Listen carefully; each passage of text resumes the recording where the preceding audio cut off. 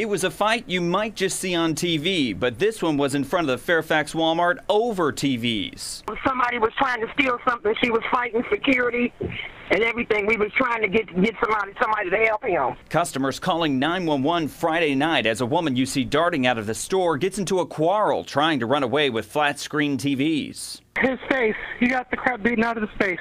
Okay, does anyone I don't think paramedic? he He got maced.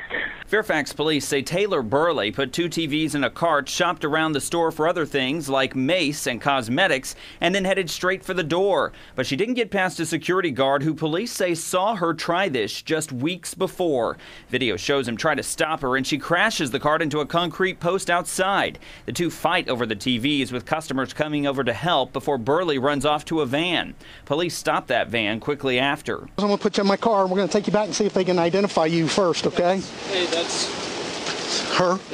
No, we switched. Ma'am, stop. Waiting in the cruiser, Burley lights a cigarette and puffs away. Then the security guard identifies her. She leaves the store, this time in a cruiser, handcuffed and empty handed. You have the right to remain silent. Anything you say can and will be used against you in the court of law.